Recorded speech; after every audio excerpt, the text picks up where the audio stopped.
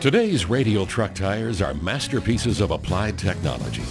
They have to start, stop, carry, and turn thousands of pounds of truck and cargo at speeds up to 75 miles per hour.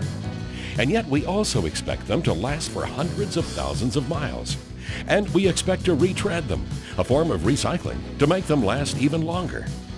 How can a tire do this? What gives it the extraordinary strength and staying power it needs? To find out, we'll look at what's inside it. Then we'll see what goes into the making of a modern truck tire. We'll start at the outside. The tread, of course, is a thick layer of rubber with a tread pattern molded into it. The rubber is application specific. That means each rubber compound is chosen for a specific combination of qualities, like fuel economy, wet traction, and cut and chip resistance. Treads are often a blend of natural and synthetic rubber because each has unique, desirable performance characteristics. Different additives, polymers, and other components provide strength and resiliency, along with resistance to wear and heat. All are combined, then cured in molds at high temperatures, changing the materials, bonding them together chemically, and forming the tread. The tread pattern is designed to optimize traction and wear. It must grip the road, wet or dry, because the tire controls the traction forces for the truck. But even a tread isn't as simple as it looks. When we cut through it, we see different shades of color in the rubber. Why is that? Well, in most Bridgestone tires, two different layers of tread rubber are used. Each has a slightly different color because each has a slightly different composition. The top layer, called the cap, is designed for long, slow, even wear. The layer below, the base, is designed to shield the casing from heat generated as the tire rolls down the road. Heat is the enemy of tire casings, shortening their life. Because retreadability is so important for truck tires, heat must be controlled, and that's why cap and base construction is so important. As we dig further, we find a layer of rubber called the undertread. The undertread provides additional protection for the casing and also helps form the bond between the tread and belts. Different thicknesses of undertread are used, depending on the amount of off-highway service or regrooving required. From this point on, we're looking at what we call the casing. This is the part of the tire that gets retreaded once the original tread is worn away. Below the undertread, we find layers of steel cables and rubber. There are usually three or four of these belts and a body ply in a Bridgestone truck tire. The job of the belts is to hold the tread flat against the road. Without them, the casing would take on an inner tube-like shape. Footprint pressure would be uneven, and the result would probably be poor traction, poor stability, plus rapid and irregular wear. Steel belts also help tires resist penetration by nails and other road hazards. The cords in each belt run at different angles. That distributes forces evenly and provides great strength. Like the rubber, the steel cord is application specific. Different alloys, different tensile strengths, along with different ways of winding the cords, are used to produce exactly the performance characteristics needed in each part of the tire. Both steel and rubber are specially made to help them bond to each other. Steel is treated with the metal cobalt and brass formulations to help the steel and rubber bond tightly. The rubber that surrounds the steel cords maintains cord spacing and seals out moisture that could cause rust, which could break the bond with the rubber. And steel adds enormous strength. Long ago, a 14-ply rated tire needed 14 cotton layers. Today, just three or four steel reinforced layers in the belt package, plus one layer of body ply cords, do the same job. Beneath the belts, we find another combination of rubber and steel. We notice that these steel cords run at right angles to the tread, and they run radially down the sidewalls of the tire. It is this cord direction that gives the radial tire its name. If you draw a line from the center of the tread to the bead, a radius, you see that these radial lines match the steel cords, hence the name radial tire. As a group, these radial cords are called the body ply and run all the way around the tire. A typical truck tire has approximately 1,200 of these. Each cord runs from bead to bead. As it does, it forms part of the sidewall. The sidewall does most of the flexing as the tire rolls. Sidewalls flex about 500 times per mile and hundreds of millions of times over the tire's life. By flexing and changing shape, the steel, together with the compressed air inside the tire, helps absorb shocks from uneven road surfaces. The sidewalls transmit steering, driving, and braking forces from the wheels to the tread, as well as forces from the road to the suspension system. Although sidewalls don't get the kind of wear treads do, they are exposed to the elements. So sidewall rubber uses special compounds and special additives to protect it from UV light, weather, aging, and curbing. As the body ply cords continue toward the bead of the tire, they suddenly turn completely around the bead and start back up the sidewall. This is called the ply turn-up because the cords actually turn up and head back the opposite direction. Inside the turn-up is a band of many strands of steel wire called the bead bundle. The body ply wraps around it. The space between body ply and bead contains several different kinds of rubber and fillers. Each is formulated to add strength while giving the area stress resistance. The bead is the edge of the tire, you might say, the place where the tire makes contact with the wheel. The bead creates a tight seal between tire and wheel. Since the entire inside of a tire is open, it is the compressed air that forces the beads against the wheel flanges, sealing in the air. There's also a small additional component made of wire or wire and fabric called a chafer. It covers the bead bundle and ply turn-up. It provides protection against damage that might occur when the bead is forced over the edge of the wheel and as the bead moves against the rim flange. Also protecting the bead area from abrasion is a tough rubber compound that helps make beads more rigid for further damage protection. But we have one more component to go. Air molecules are tiny and can literally diffuse through rubber, causing the tire to lose pressure. To slow this, the inside of the tire is covered with what is called an inner liner. This is yet another layer of rubber. Though it's thin, the inner liner actually has two or three separate layers. One layer prevents air and moisture from passing through. The other helps it bond to the casing ply. Two more rubber compounds, each with a specific job. Still, even with the best inner liner, a tire can lose 2 psi per month. Another reason to check inflation pressures regularly. We've seen all the major components of a modern radial tire. Now, how is a tire like this actually produced? To find out, we'll visit a Bridgestone Firestone truck tire factory. As we've learned, the basic materials are rubber and steel. About 70% of the rubber in a truck tire is natural rubber, which comes from the sap of rubber trees. About 30% is synthetic, made from petroleum and other materials. Specially made steel wire of a variety of types and thicknesses is used in the belts, body ply, and beads. And there are several specific additives used to help in processing curing and strengthening rubber, and in protecting tires against air, sunlight, and ozone.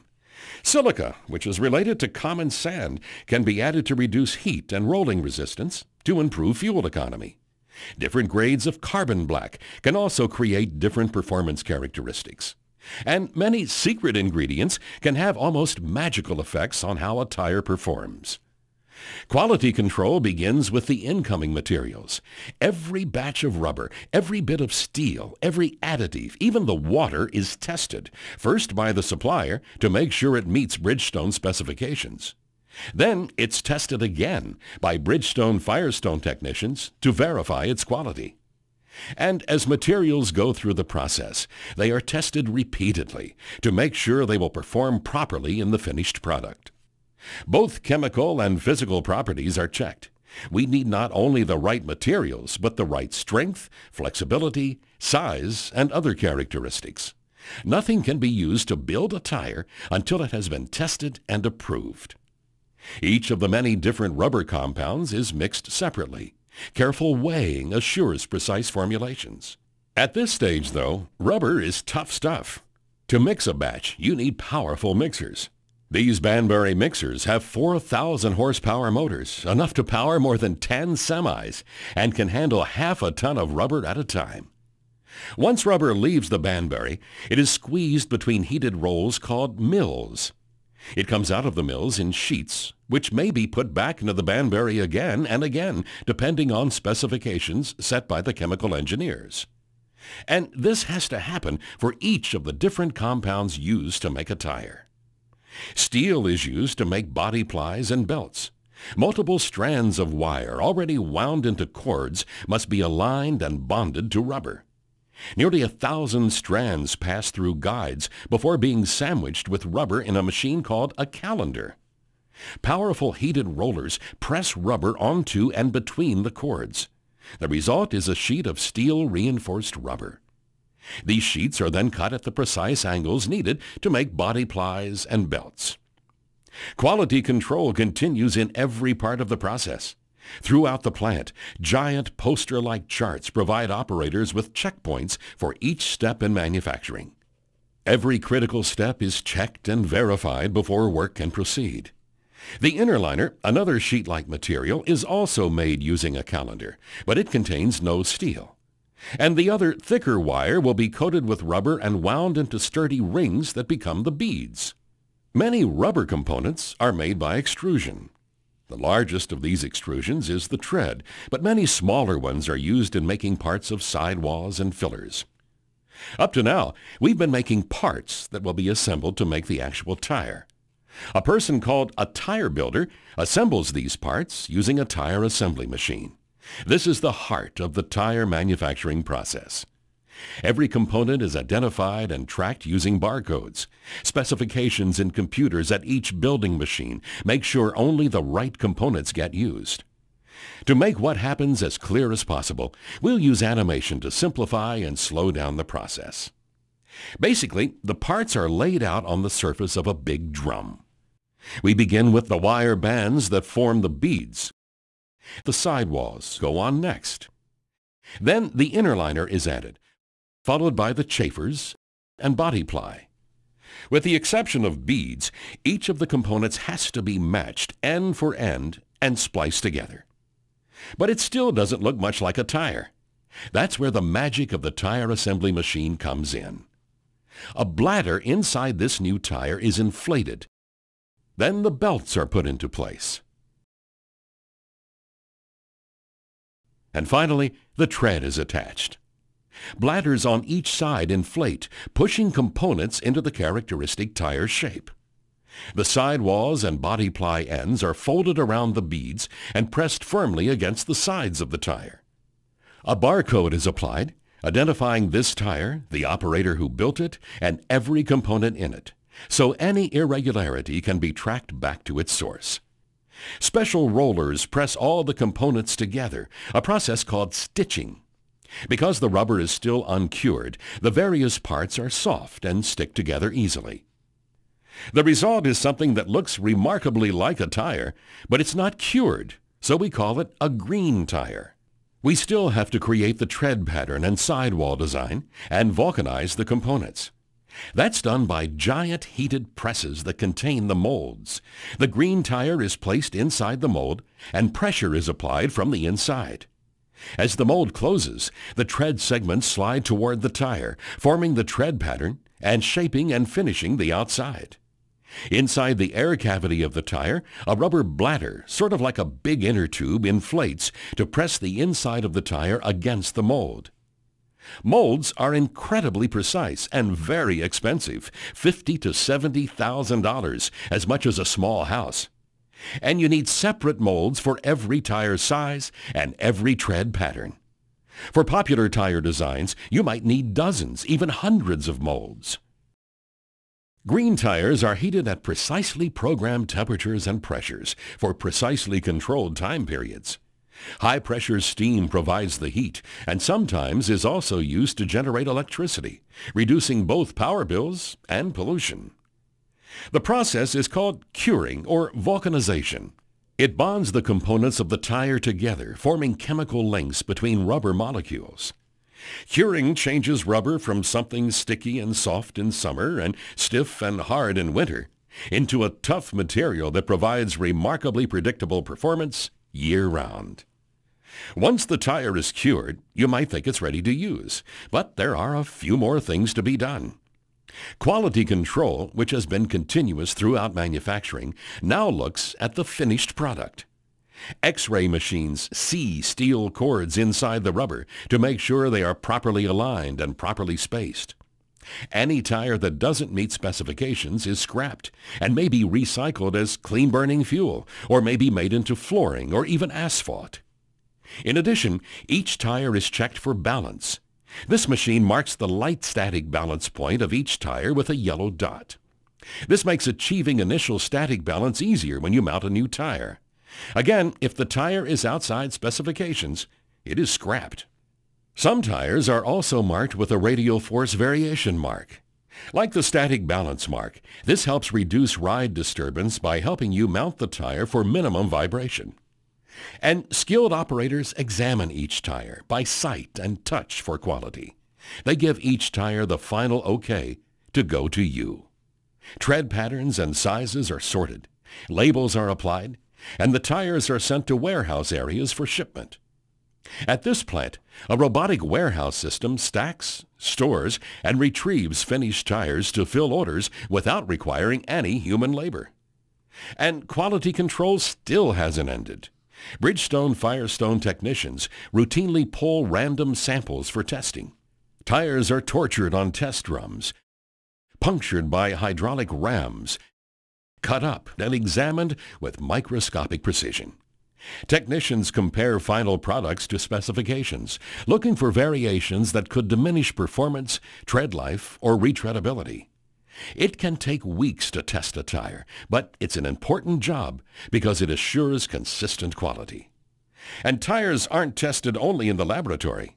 At the Bridgestone Firestone Texas Proving Ground, tires are tested a variety of ways, including running on a seven and three-quarter mile oval track and put through tests designed to simulate the kind of abuse real tires get in the real world.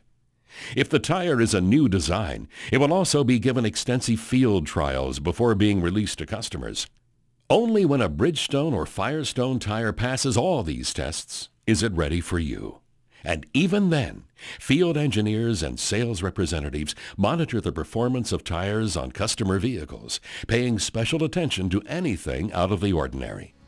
The results are some of the finest truck tires available for virtually every application and every vocation. Truck tires with incredibly long life, extraordinary traction and handling, and that provide low cost per mile by maximizing retreadability. With good maintenance and careful retreading, some of these tire casings have provided their owners with over 1 million miles of service. So why do Bridgestone Firestone truck tires deliver such outstanding performance? As we've seen, it's the way they're made, the advanced methods and materials they're made of, and the people who make them.